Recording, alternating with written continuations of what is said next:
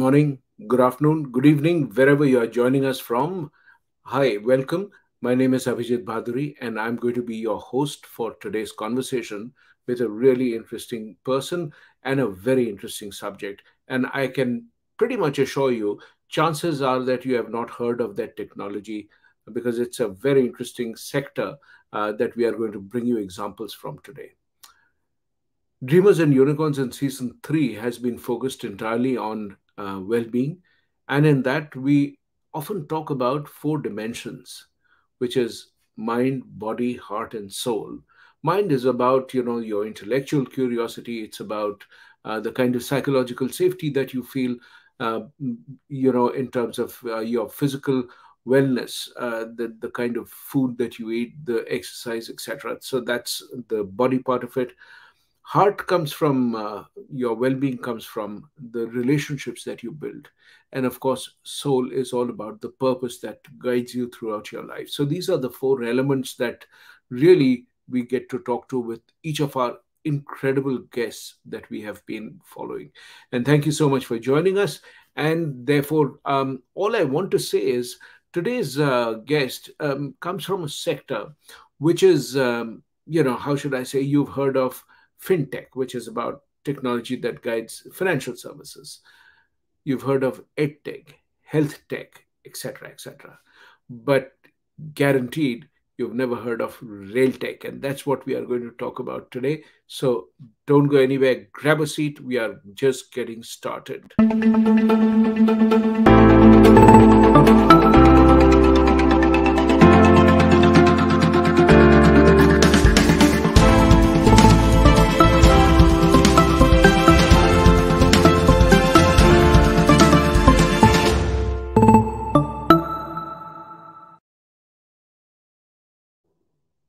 Hi there. Um, so, um, Mrinal, welcome. And I can uh, just bring up my guest, Sajid. Uh, thank you so much for being here. And uh, Sajid, uh, I'd like to sort of uh, introduce you, but um, I always think that besides, of course, saying that you are the Vice President HR for Wabtec Corporation, um, what else can I say about you that people don't know? So why don't you introduce yourself and let me say hello to all the um, viewers who've joined in. Thank you so much. If you have your questions, do add them. But Sajid, welcome to the show. Sure. Thanks, Abhijit. So, team, uh, look, I'll try to give you my introduction by saying that in one line that I'm a HR practitioner. So I've uh, spent uh, almost like 23 to 24 years in multiple sectors. And the good part is I've seen uh, com- uh, these companies that I've worked with go, go through growth, and at times it has gone through restructuring, reorganization. And then uh, finally, last uh, six years has been an incredible journey for me to be part of a pretty large project we are doing with Indian Railways on setting up three factories in three corners of India, literally remote sites. And I think that's uh, what defines me today in terms of my experience as a core member of the business uh, to do this uh, pretty large project uh, which is we are part of VAP, Wabtec Corporation now. It's a rail technology company, as Abhijit was mentioning. In simple, we build, uh, yes. So that's literally the introduction, Abhijit.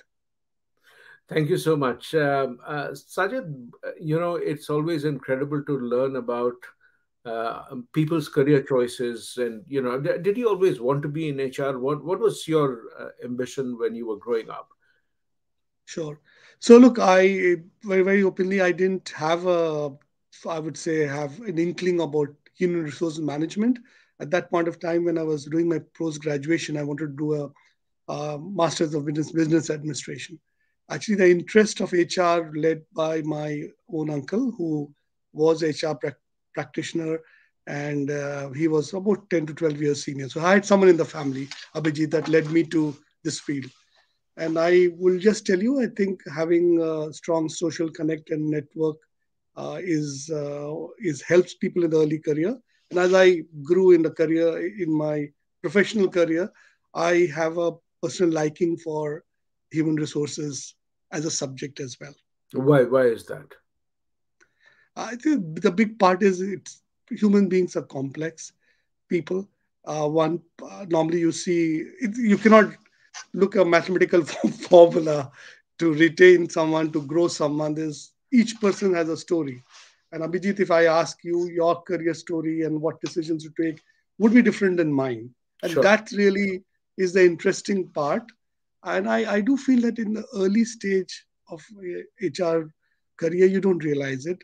But as you grow uh, in in this field you realize the in I would say many many different kind of challenges of this field, right? And that's the reason you have specialization as well within HR of people take up taking up industrial relations, comp and ben, or being an HR generalist.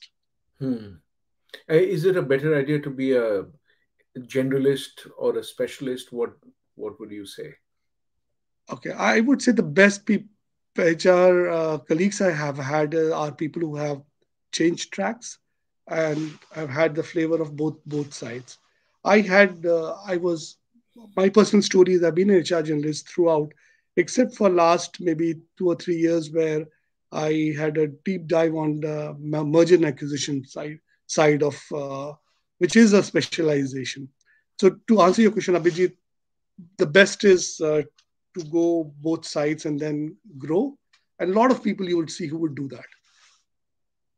I certainly did that. I started off as a generalist, then did a stint as a specialist in, uh, in you know, IR as it was uh, called then. Came back to being a generalist. Actually, then did a stint as a uh, specialist in learning and development, etc. So I've sort of really moved um, and then even as a generalist to be able to move between different geographies that was a great learning for me. And i had uh, never worked initially outside of uh, uh, india. And it gave me a great chance to learn about different countries hr out there etc so you're right that you know the more kind of variety it's a bit like you know the central premise of hr as you said is we are like everybody else in some respects. And we are you know we have some similarity with others in some respects.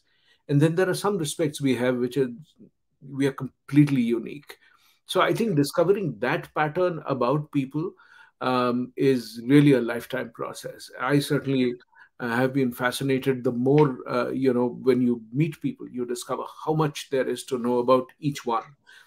So yeah you're right that uh, so, what was um, uh, you know what what's been um, one of the setbacks that would have you know did you ever face that kind of a scenario where uh, sometimes you know when in the early stages of one's career people don't necessarily experience uh, you know success is great but when they experience failure for the first time uh, you know, a lot of times uh, it leads to self doubt that did I choose the right profession? Am I in the right place? Yeah. Uh, should I have done something else? Um, you know, so did you experience a, any of that? And if so, how do you deal with it? Sure. So I would say yes, absolutely. I did face uh, pretty early in my career, and I'll I'll give you the mm, something to, to which I learned from it, and I want to share. So my first job that I had was uh, with a very large Indian company, Larsen and Toubro, and I realized that uh, my own uh, it's a very specialist role that I was doing of rotating. It was called a job rotation program, and I re- I wanted to basically look at an option where I can grow uh, horizontally in HR. Uh, I was given an option of uh, moving to Nasik from Bombay mm-hmm. It was a new plant that was coming up, and uh, this I would use it as more of reflection of not taking the right decision. I didn't take up that role. I wanted to be in a bigger city. I, if I would have taken that role, uh, if you're in a, a new site, it is coming up, you really learn about business, not just about HR. And you would get involved into labor and employment, to uh, construction to project management, everything. And I think those skills are something that uh, one should learn, pick up very early. And therefore, as we have remote sites in our fact in our company, I really uh, suggest to my fellow colleagues that take up assignments which are remote. Don't uh, bigger city, the shine of bigger city you can get later as well in life. So if I would have done that, uh, Abhijit, I would have grown from a skill perspective much faster. Uh, not just about career, uh, hierarchy level. I'm talking about skill level to know the business of uh, of uh, this the company that you work for. So that's my strong, pretty strong recommendation for people who are watching this. I I I would sort of uh, then say that I think the point that you make is that when you um, you know take up a, a, a, challenge in the early stages of your career, uh, what I hear you say is that when you move to this you know new site where things are coming up, you not only know about um, you know this kind of it's boundaryless in terms of the way that you operate.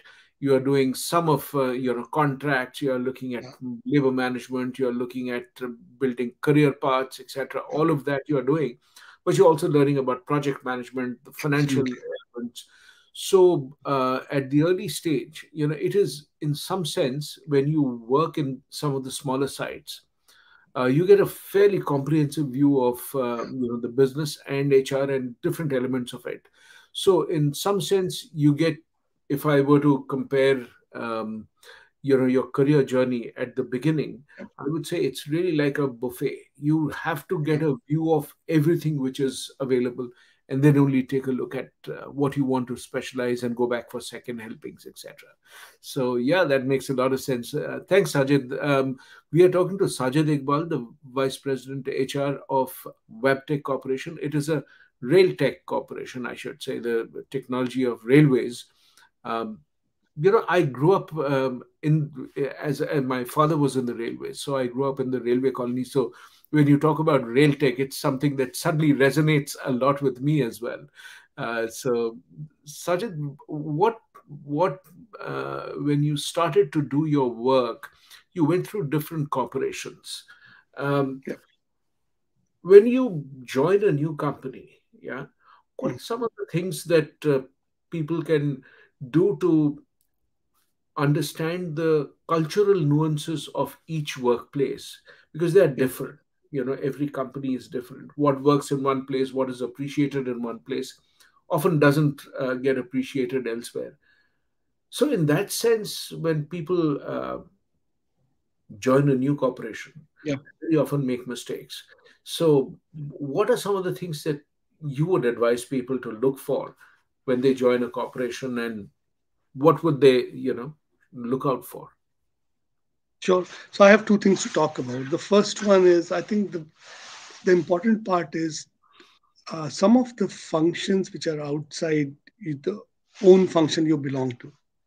Uh, having conversations with uh, either uh, the manager or the senior leader in that function i'll give an example.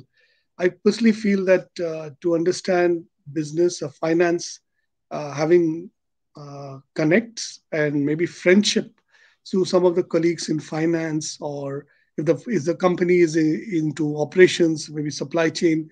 So initial one month, uh, it's extremely extremely important to have a wider network of people to not just know them uh, by their name and what they do, but to understand what value does that function has in the value chain of the entire organization. Let me give an example on this to drive the point. So if it is a, a company which is in in uh, healthcare, right? So there is there is a angle to uh, the fact that the customer uh, piece becomes very critical. So I used to work for GE Healthcare, uh, which is also called Wipro GE. So understanding what are the customer facing roles how service is critical for the quality of the product because that's from where the information flow flows in. So i, I feel that bef- before we spend too much time in our own area of work understanding the top maybe the key uh, department function whatever name we give and having a connect with them to understand how does the flow of business works is very very critical. And the second part is I do feel that uh, people value mm. the hmm. subject matter expertise we bring in. And uh, I do feel that uh, working, maybe if, if, it's a 90 day plan, to really plan where will I add value in, in terms of the team that I belong to. And finally, a small tip is understanding what are the top three or four agenda of your manager of what are the things that are pain points or something is driving uh, in the initial three months will put uh, the person in really really strong uh, footing uh, to make and mark. I think just not job description the goals of the person but the goals of the manager is equally important to know abhijit. So, uh, Sajid, my uh, takeaway, you know, I would say is one, you are talking about the importance of understanding um, the financial element of the business. You know, effectively, how does it make money? What, you know, how does it um, um, add value to the consumer or customer, as the case might be? And actually, then also looking at it from a closer point because when you look at the financial element of the business you get an overview of the business so you understand yeah. where your role fits in into that overall scheme of things so uh, if i were to draw a parallel i would say that uh, understand read the entire play if you're going to be on uh, yeah. you know perform a role in a play. First read the entire play. You understand is it a tragedy comedy there's that social setting what time period what kind of characters yeah. how many characters. Then you read your portions a little deeper. And uh, from there you know you are talking about the fact that you need to be able to um, uh, understand the goals of your manager which makes it very powerful for you to succeed so um, that's great advice uh, sajid uh, and you know as the viewers, uh, you know, just to recap for all the viewers, we are talking to um, Sajid Iqbal, who's the VPHR for Wabtec Corporation, and we are going to talk about wellness in the workplace. But uh, one of the important elements of wellness is to be able to settle down in your career. You know, when you take a role at whichever stage, not just you know in the early stages of your career. Even today, if you were to join a corporation. These are useful things to uh, keep in mind. So, um, you know, I think, um, you know, we have L.S. Murthy who says that understanding the value chain and connecting with the people side.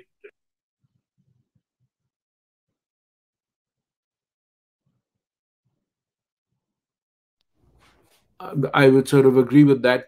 Um, I wanted to uh, switch tracks uh, and talk about uh, you know wellness as we are sort of looking at your career journey. Um, wellness uh, you've um, does it change that does the definition change um, according to the industry or are the elements of wellness pretty universal? What is your belief what have so, you seen so yeah, so Abhijit, uh, I, I was doing some reading, uh, and one of the recent research by Tufts University, which covers about 19,000 uh, employers, uh, most of them are, would be in North America, is about that it uh, it actually has uh, impact across all industries. some industries, the impact is more quantifiable, and I'll give an example for that. In a, in a company which has manufacturing uh, the safety uh, issues it could be a, a, safety injury because of the sure. fatigue is very uh, most of the companies have an alert system which gives about that a particular factory let's say there are 30 factories one of them we have multiple injuries happening. So there's an alert mechanism. But think about uh, an industry which is uh, like you're talking in the beginning of fintech or an industry which is uh, uh, business outsourcing or IT, where the alerts of an injury uh, is not really in a physical space, right?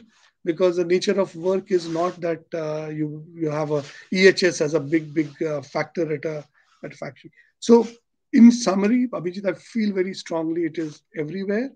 In some industry, it bubbles up. In some industry, we don't see it. It's an iceberg which mm. you don't see it. And I think the important part is because of last two years situation on COVID, there's a lot of research that's happening in this area, and that research is is coming up uh, much more than what we have seen in the past. Abhijit. Yeah, I would say that um, you know if um, 2020 was really the challenge of the pandemic, which was you know it just took over our lives, caught everybody by surprise the world over.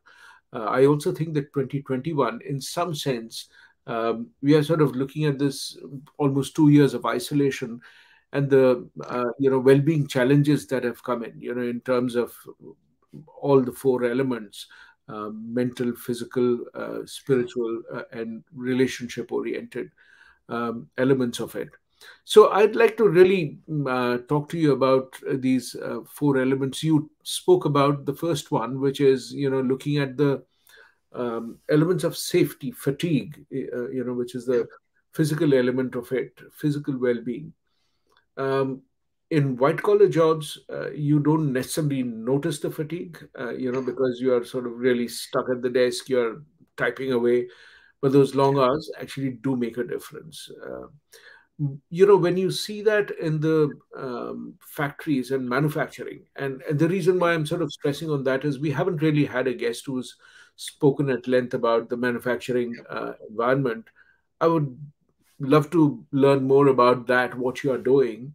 Um, so tell me about, uh, you know, what do you see happening uh, with uh, the well-being element in the manufacturing sector? And walk me through some of that. Sure. So, I'll, so uh, just to for the viewers, uh, we actually have our company has about five factories, and uh, it's we manufacture locomotives or parts that go into a metro pro- project so these are pretty intensive testing happens, right? So I'm just trying to give the lay of the yeah. land here. Some interesting uh, statistics I'll share with you is we have a, a employee assistance program partner, and uh, one thing we have realized looking at the number of calls coming up. So we do have a technology center, and then we have uh, these manufacturing sites. The number of calls reaching out for help is very, very low uh, from our, our colleagues in the factory setting. Right. Hmm. So I was having a dialogue and we talked a little more in, with, with our partner. And the partner said, This is something common we are seeing just not in your organization, but we see that across manufacturing.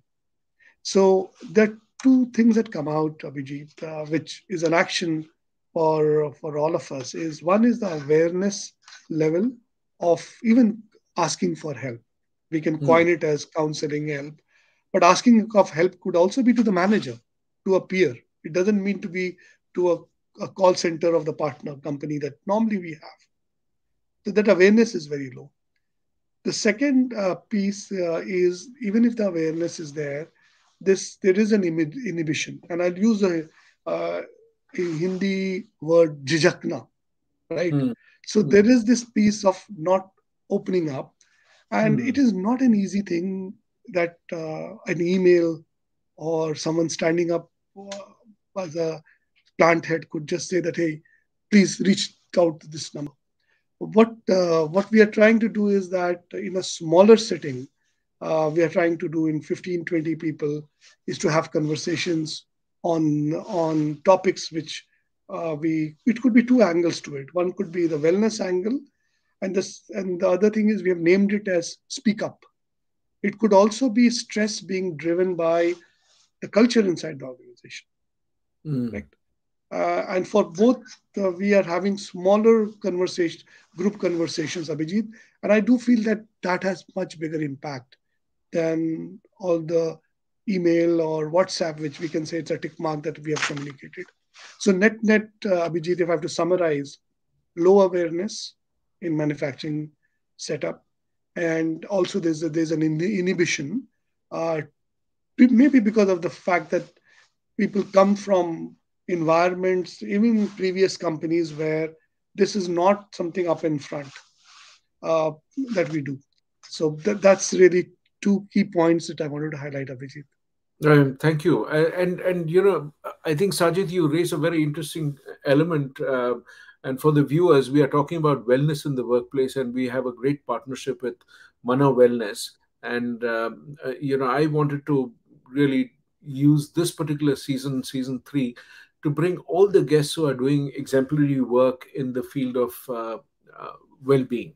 And one of the things that uh, caught my attention in terms of what you are doing is that uh, building that element of psychological safety, which I think matters so much. Uh, you know, psychological safety is the comfort that I can uh, walk up to you, and whether it is to say that I'm feeling extremely stressed and I'm not feeling good about whatever, or to even disagree with a point of view or to suggest something and and I love the phrase that you used, jhajakna. You know, it's just that yes, the literal translation is hesitation, but uh, I think jhajakna also has the element of um, uh, there's an element of shame, potential fear of that shame. That you know, what would you think of me if I did say what I had on my mind? You know, so I think that really makes a enormous difference for people to be able to have that comfort what are some of the things that you see people doing actively to build that sense of comfort in the team members? What do you think? Um, uh, you know, people. sure sure so i i feel that if you look at one of the most important uh, role in an organization setup Hmm. is the role of the immediate manager Mhm. and whether we call it frontline managers or if you are in an IT company, you can just I think most of the time it's called manager. I think that that uh, role is extremely extremely uh, powerful because it's really a front line of the information coming in first. So we actually what we we have seen is that if that set of population is is provided information which can be used in either informal or formal setting of communication to the team.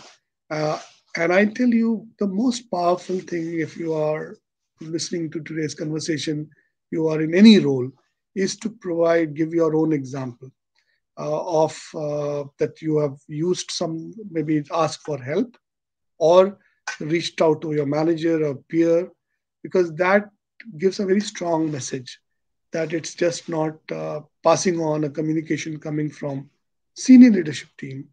It's as a manager or a colleague you personally have have done it.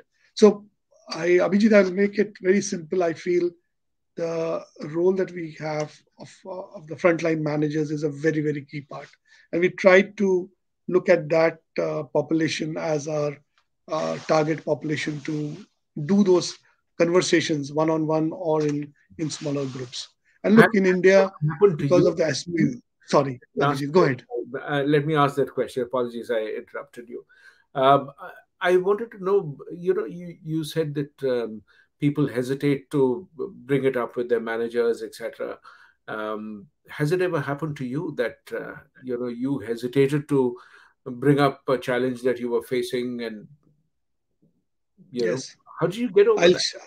Yeah, yeah, absolutely. I'll share. So I was actually uh, for about four to five years. I was in US, and I was I had a situation my that my spouse was doing her uh, management program, and therefore I had a situation where I had to basically pick up really small. In my kids were two and four years, and because she had to go to university, I had to step out pretty early uh, from from office Hmm. and uh, my hesitation uh, i was feeling that because i'm i have to leave it around let's say by 3 p.m to pick them up and then bring them to to our house uh, there was this piece that i'm not around after a specific time and i was feeling that that's that is something my manager is not openly openly speaking to me that uh, he's uh, he feels that so this was linked with uh, and it happens to a lot a lot of us it was linked to performance but the Hmm. reality is uh, one can today if you look this is about 15 years ago if you talk about today abhijit things are much more better of um, the fact that you can explain your situation. So, my learning is it is absolutely important to be vulnerable and explain the situation that you're going through, whether it is a medical situation, uh, there could be a personal medical situation as well, or supporting a family member on something which would, of course, have an end date. It's not like uh, Yes. it's so that's that's something that uh, I had as a hesitation, Abhijit. And and um, you know uh, when you look at this hesitation, uh, it comes. You are right that you know there is this whole thing that you initially think it is so minor that I don't know it's whether it's even worth bringing yeah. up. And then at some point of time, it's so large that you kind of think that now there is no point bringing it up because you know the challenge is just way too large. Um, so you know when it's uh, really all consuming what are some of the things that you would advise people can do to uh, bring up those issues how do you think sure sure absolutely so for the first the first thing is i feel that uh, i'll use simple words uh, suggestions like have a con- if you're new in the organization have a conversation with a peer first to understand that is this something that you are uh, you have in your mind? Is it something that is okay to bring up? If you're brand new in the organization, but if you have been in an organization, I, I personally feel having a one-on-one dialogue, like you were saying, Abhijit, to open up the topic is an important one. And the way to look at it is what's the worst it can happen? There are more upsides than downside when one opens up. Uh, and we're talking about mm, here just not uh, about uh, stress role related or you're taking off.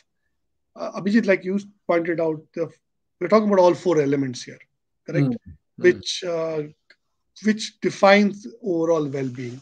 So, so Abhijit, that's what body, heart, and soul. Yes, go ahead, please. No, no, mind, yes. body, heart, and soul. Just so I'm just recapping for those of us who joined it maybe a little late. So, um, uh, you know, so these four elements all become important. And as you were mentioning, that it's important to build the sense of comfort with your manager, where um, maybe if I were to rephrase what you just said, uh, I think what I heard you say is you build the sense of comfort little by little so you can progressively uh, keep the person online about what's happening with you uh, every single day in your life, you know, so some sense. Uh, I wanted to actually say that what if you find the manager intimidating or not very open to that? How do you get over that barrier? That's what I wanted yeah. to know about.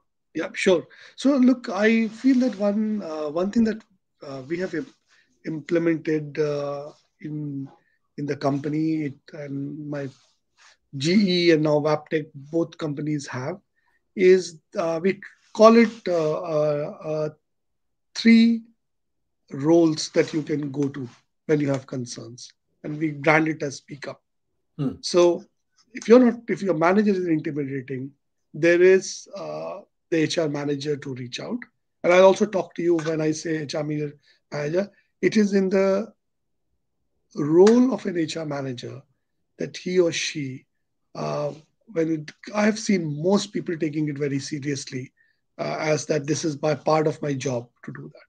So that's the second part. The third is uh, is the one over one manager, and we also have uh, seen a fourth one, which some companies have it, is the compliance or legal counsel, and these are neutral roles. I will call it right because when I say neutral roles, manager and man- one over one manager, Abhijit is a is a hierarchy that you belong to. But these neutral roles, whether it is HR, legal, and co- compliance, these are the people or roles one can seek. Sometimes these are roles are formalized in companies where you mm. can go and uh, talk about your concern. So let me also explain to you, just going and talking to HR manager, HR manager could give a tact of how you bring up this topic. And he may say, this is serious enough that uh, you have to actually go to your one over one manager for it. And and and Abhijit, we should we should not uh, I think we, this part of intimidated manager is a real thing in all companies. Right? It will be in mine as well. But I think uh, going to these uh, pillar roles related to speak up has helped us, uh, Abhijit. Uh, what we do, I'll tell you one more thing is we try to see once in uh, once in a month at key sites, and then we have something called compliance review board once in a quarter, where the head of the region, along with all the uh, HR leaders, along with business leaders, we bring up a scorecard of how many people are reaching out to this these avenues.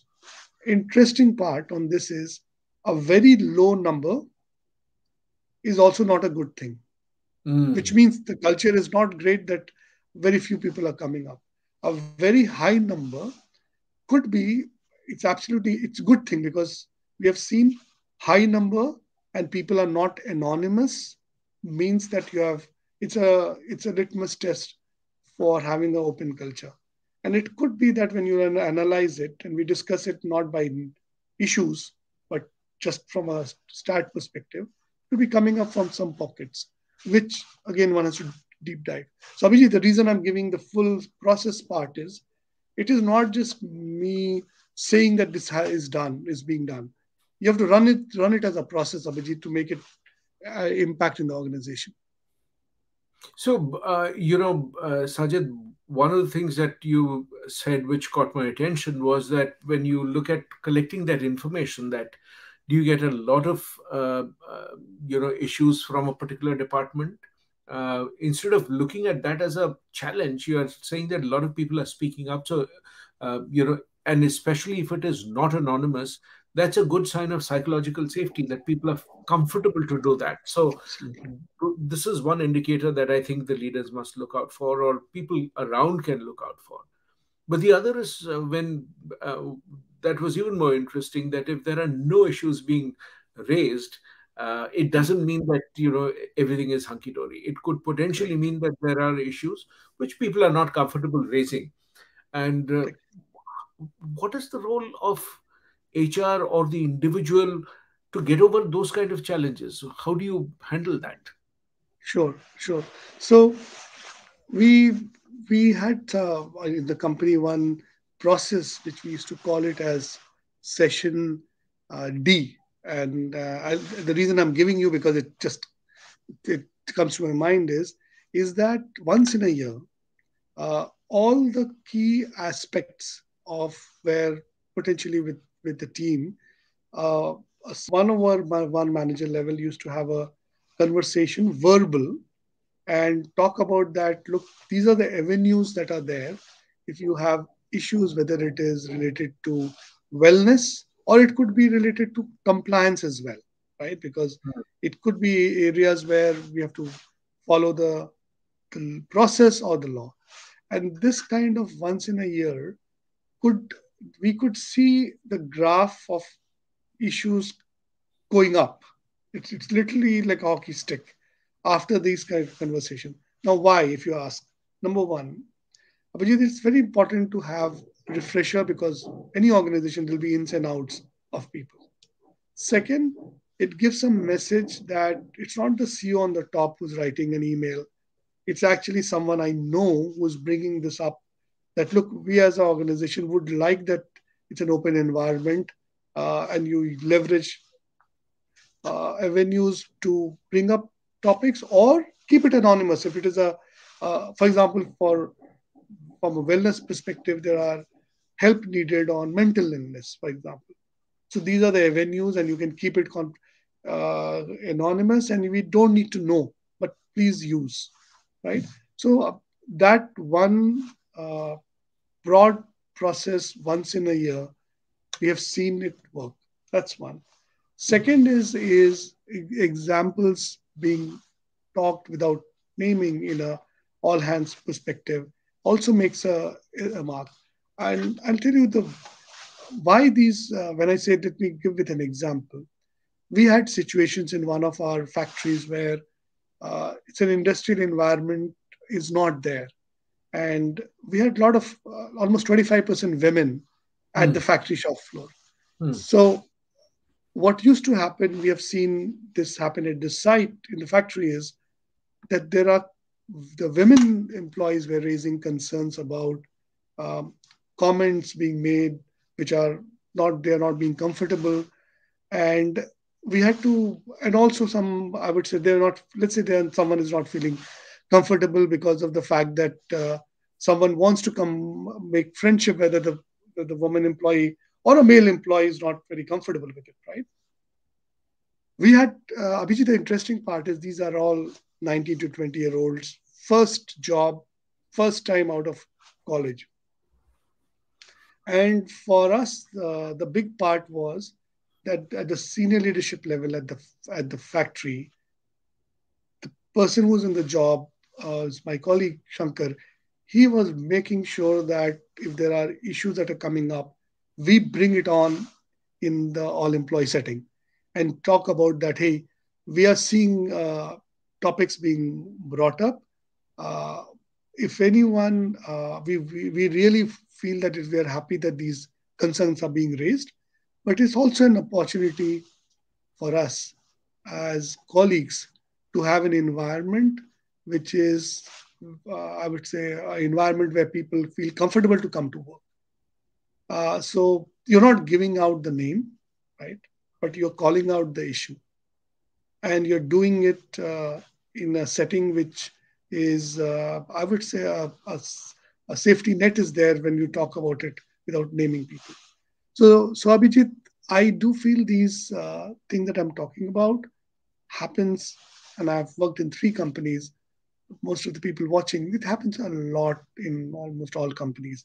And we see in certain age groups or certain places where it's a first job and people have not worked together, maybe the number of uh, issues are higher. And then it we saw it stabilizing. Now this factory is four year old, Abhijit. So we do feel that uh, the first year was different versus now. Um, and you know when you look at um, uh, your organization, uh, you talked about some fabulous examples of uh, you know looking at uh, giving people psychological safety you know through the anonymity or raising the issues. And that's probably my big takeaway uh, you know sajid that uh, when you see um, our own assumptions of openness we always think that if i have some issue with you if i bring it up you're probably going to feel bad. And so people don't do that uh, if there is a single reason that I have learned that, you know, it, with the team members or with your colleagues or anyone, uh, even in the family, raising the issue and stating your current feeling is such a powerful way to build trust in the organization or the team or in that relationship. So I think that's to me a big takeaway that uh, raising the issues is actually that's one of the ways in which we make it a more inclusive place where you can say that okay i'm not comfortable with this. And it's not looked at as uh, something negative that it's a way of you know making space. Um, the way i think about it is in many ways it's like saying that if you and i we have to share a seat yeah, yeah. if i say that hey uh, sajid you're taking up too much of the space I, I i'm unable to sit comfortably. Can you make a little space for me I think it's really like that. An inclusive space uh, is where both people are comfortable sitting together, you know. So I think that's how I look at it. Absolutely, Abhijit. That... So when you think about, um, uh, you know, we've spoken about uh, mind, body, the heart and soul part of it. We are, you know, um, talking about well-being these are two elements of it. I'd love to know of some examples um, that uh, you know you've uh, you know where, where you've worked on doing something which is about well-being in terms of um, connecting with people, etc., to facilitate that, or to help people find a purpose. You know, what are some of the things that uh, you've seen working? Uh, talk to us about it. Sure, absolutely. So, look uh, on the heart and soul part. Uh, I so, so this is a, it's a very interesting uh, subject. Uh, reason being that, uh, look, uh, if you look at these two elements together, some of the things like the social connect that happens, uh, you, you, can you quantify it? That what was our return of investment of bringing families together? It's tough to quantify but I think those connects are the ones that uh, connects us to the organization we belong to or the company we belong to. And one of the best examples, Abhijit, which a lot of us on this uh, uh, call would relate to is, is the army. And one of my colleagues uh, who uh, is part of, uh, is a colleague of mine, shared that we, let's take the example of armed forces. There is a very, very strong purpose in terms of their own existence. But one of the things that uh, on connecting the heart is uh, think about the army person on the borders or is, is, is at a remote site away from the family. One of the things that army, uh, that is a cantonment area, you one would see consistently is that they bring the family in the middle in terms of um, whether it, it is uh, taking care of a school at uh, availability of the school or it is about the fact that uh, god forbid something happens the family gets taken care of. So if you see the underlining thing and is the fact that they are basically there's a subtle message that we will take care of your family. Right? There are many things that gets done for that. And imagine the the highest level of sacrifice that can happen is is really done by our, our soldiers and armed forces people right? And if you see uh, the research on hr has most of things including assessment centers have started in in the army correct? And i i relate it to this piece of heart that you're talking about. There's a lot of things that they they do to connect the purpose and also to connect uh, with the people who are uh, who are family members. So Abhijit, I wanted to bring that out because it will relate to a lot of lot of us on the call today. I completely agree that you know uh, when people uh, sort of talk about examples of the army, I think uh, uh, a lot of people focus on the fact that it's at one level an extremely hierarchical organization, so it is possible to get things done because you just issue an order and it gets done. Actually, that's a myth. Um, and uh, you know, I've spoken to several people who've uh, talked about their own example. Yeah. The army actually focuses a lot on connecting um, people through uh, the heart. You know, which is that, and you're you're right that if you look at the cantonment area, you know, the people are really brought together, and the um, you know, the, while there is hierarchy in the workplace, outside of the workplace, you know, people do uh, sort of they share common facilities, they share uh, common schools for the kids. So yeah. in multiple ways, they bring uh, they make an effort to bring down that hierarchy. And also, I think for me, the m- most important piece, uh, Sajid, is that uh, when the um, officer uh, who's really respected and trusted, when that person says that tomorrow we'll go for a 30 kilometer run, yeah. the officer is working right in front. He is running with the yeah. troops, uh, you know, and running three steps in front. That is really the inspiration. And most of the times, when you see leaders who are not respected, it's when they issue an order which they don't do themselves. I think that's one of the greatest pieces. Um, you know, I think um, that example has always inspired me to say that you know if you cannot do something better than the team, uh, you have no business asking them to do it. So I think that adds to a lot of credibility. We have got a question uh, from uh, Debashish. I'm going to bring it up uh, on the screen. He says that uh, how do you get the learning team and talent management team to play an integral role in uh, moving this uh, mind shift change? Sure. So I so, so thanks Devashish for bringing up an interesting part of how we are organized uh, in HR. I do feel that uh, the best thing that could happen is that uh, these two, I see it as a pillar, uh, and then you have a, a broader. If, if HR is a function, is a building. These two are pillars, and there are three or four more pillars.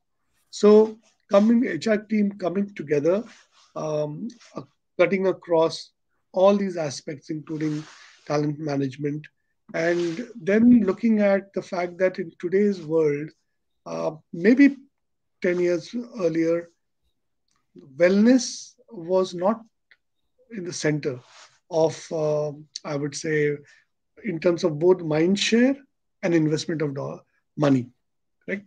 And uh, the good part is not just a HR team. I think it is now coming in the picture right in the center, even for senior leadership team, or whether we call it to the CEO or whichever name we give.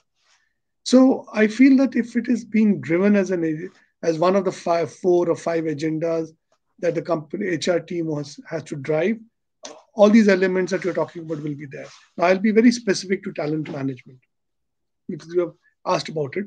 is that if you look at uh, one of the things that uh, recently we did, Abhijit, was we have actually done a job, uh, job architecture.